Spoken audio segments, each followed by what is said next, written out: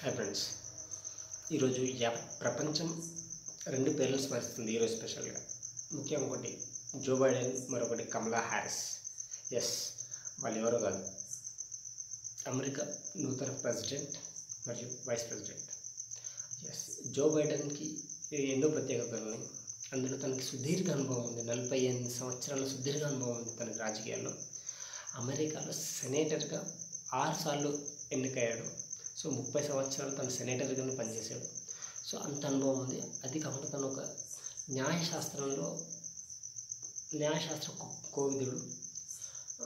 అలాంటి వ్యక్తి ఎస్పెషల్లీ అమెరికన్లకు న్యాయం చేస్తాడు. అమెరికన్లో నెలకొన్న సమ అమెరికాలో నెలకొన్న సమస్యలను పరిష్కరించడంతో పాటు ముఖ్యంగా ప్రవాస భారతీయులు కూడా ఎన్నో ఇబ్బందులు ఎదుర్కొన్నారు. ట్రంప్ ట్రంప్ కొన్ని తీసుకున్న నిర్ణయాల వల్ల. సో ఇప్పుడు వాటన్నిటిని కూడా మళ్ళీ తిరిగి సవరిస్తాడనే ఎన్నో ఎన్నో ఆశలతో ఉన్నారు మన మన భారతీయులు.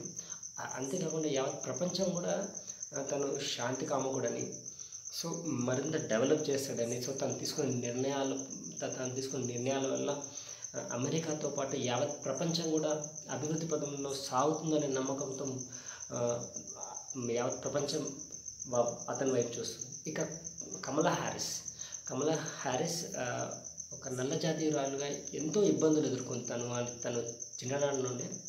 కానీ అయినా కూడా తను తన నమ్మకాన్ని సడలించకుండా అంతే అంతే కృషి పట్టుదలతో ముందుకొచ్చింది. సో సో సో తన పైన కూడా యావత్ అమెరికన్లు తన పైన కూడా ఎంతో నమ్మకంతో ఉన్నారు.